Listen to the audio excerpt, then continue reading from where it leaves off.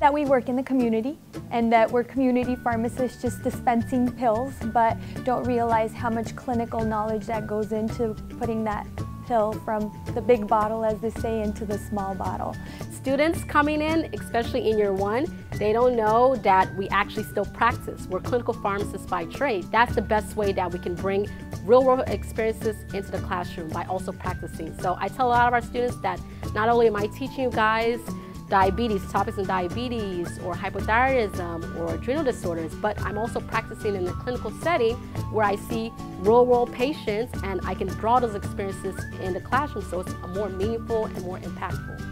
A lot of people think about traditional pharmacy practice and they think about the pharmacist who stands behind the counter, hides behind the counter at the drugstore, and they never really see that person. And when reality, pharmacists have extensive education in medications, in physiology and knowing how those two interact, so how the medications act within the body. We receive lots of education on how to communicate with patients as well as other healthcare professionals and really can do a lot to improve healthcare uh, maintenance, to improve preventative care, and to do everything to keep people healthy, not just treat them when they're sick.